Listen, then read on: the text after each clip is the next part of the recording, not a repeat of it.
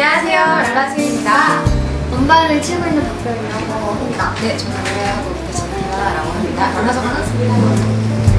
이름만 들어도 상큼한 오렌지 레볼루션 페스티벌에 이름이 그렇게 상큼한가요? 샤워가 첫 데뷔곡이 뭔가요?